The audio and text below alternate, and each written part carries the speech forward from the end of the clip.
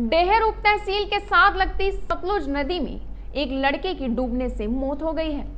पंद्रह वर्षीय युवक मोहित कुमार पुत्र हेमराज गाँव खरोटा का रहने वाला था। दो घंटे तक चले सर्च अभियान के बाद लड़के का शव बरामद कर लिया गया है, जिसे पोस्टमार्टम के लिए सुंदर नगर अस्पताल भेज दिया है और शव का पोस्टमार्टम परिजनों को सौंप दिया।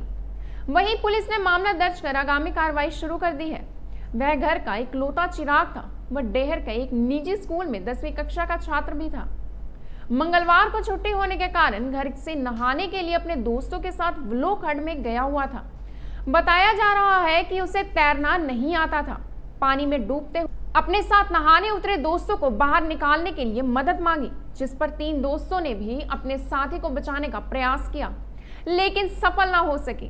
युवक के पानी में डूबने की सूचना ने युवकों के डहर पुलिस चौकी को दी, जिस पर पुलिस चौकी प्रभारी जगत राम व अन्य कर्मी मौके पर पहुंचकर बोट के सहारे युवक के शव का सर्च अभियान शुरू किया गया, जिस पर स्थानीय तैराकों व बोट वालों की मदद के बाद युवकों का शव नदी से बाहर निकाला गया JBD Banquets lie हैं incredible marriage palace Rajgharana and the finest banquet hall Jyoti Garden. World class catering, centrally air conditioned, lush green lawns, state of the art lighting. A perfect venue for wedding, launching and parties. Rajgharana and Jyoti Garden at JBD Banquets Enterprise.